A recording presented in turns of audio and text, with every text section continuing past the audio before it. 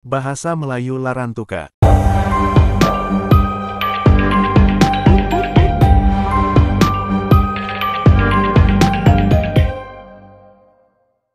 Kota Larantuka saat ini adalah komunitas yang cukup homogen, meskipun sebagian besar terdiri dari penutur bahasa Melayu Larantuka, yang banyak di antaranya memiliki keturunan dari para penjajah Portugal dan pengikut mereka dari semenanjung Melayu yang tiba di Larantuka pada abad ke-17. Meskipun demikian, Larantuka memiliki akar dalam beragam komunitas yang tertarik pada pemukiman tersebut. Komunitas Melayu Larantuka mempertahankan identitas budaya dan linguistik yang terpisah dari penutur lama Holot yang mengelilingi kota. Bahasa Melayu Larantuka berfungsi sebagai bahasa utama dalam kehidupan sehari-hari di kota tersebut dan merupakan bahasa asli bagi sebagian besar penduduk. Masyarakat penutur bahasa Melayu Larantuka menyebutnya sebagai bahasa Nagi, yang mungkin berasal dari kata negeri, yang berarti desa, akhirnya berasal dari bahasa Sanskerta. Nagi juga merupakan istilah untuk kota dan kelompok etnis yang menuturkan bahasa ini.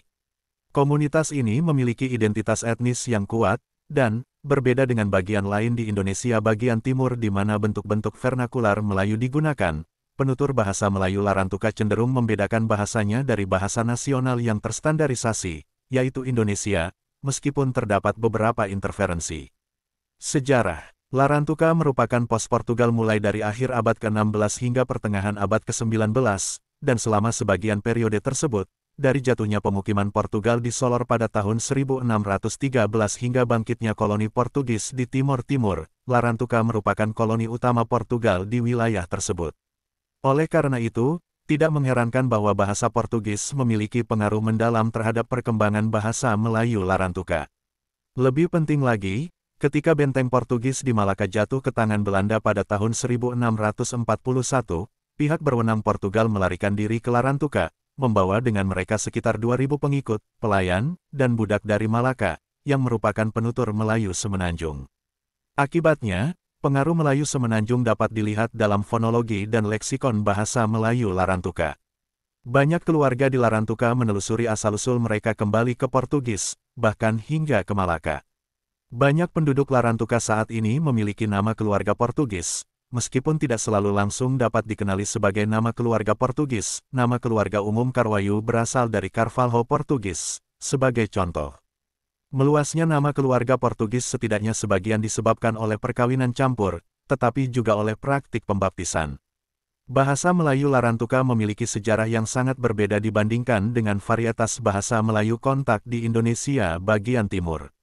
Berbeda dengan Manado, Ternate, Banda, Ambon, dan Kupang, Larantuka bukan pusat perdagangan atau pusat administrasi regional, dan Melayu bukan bahasa perdagangan yang penting.